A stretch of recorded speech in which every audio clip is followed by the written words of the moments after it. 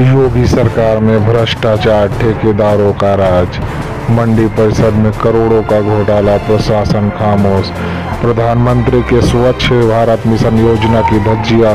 उड़ती देखनी हो तो रायबरेली के लालगंज मंडी परिषद आइए।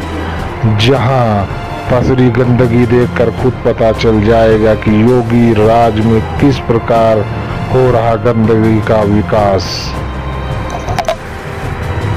जहाँ सफ़ाई कर्मचारियों के नाम पर धन की सफ़ाई का काला कारनामा लगातार जारी।